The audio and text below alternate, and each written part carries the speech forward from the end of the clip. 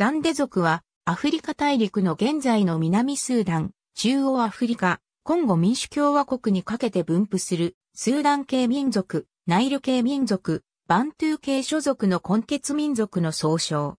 約75万人が該当。アザンデとも呼ばれるが、窃盗時のアが族の意味を持つ。そのため、ザンデ族、またはアザンデと呼ぶ。スーダン型気候のサバンナとギニア型気候の湿林の境界線上に位置している。シャリ川上流からナイル川、中流、コンゴ川中流地域に分布。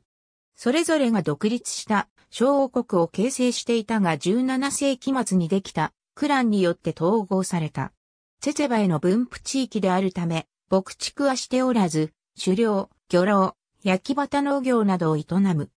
四国美へ、ソルガム、東人美へ、トウモロコシ、ササゲ、ゴマなどを伝統的に栽培していたが、19世紀末には、落花生、キャッサバ、サツマイモなどが移入され、重要な工作資源となっている。エヴァンズ・プリチャードが研究対象としたことで知られ、呪術的な独特のまじないを宗教文化に取り入れており、摩擦板の託線や毒物の託線などを行う。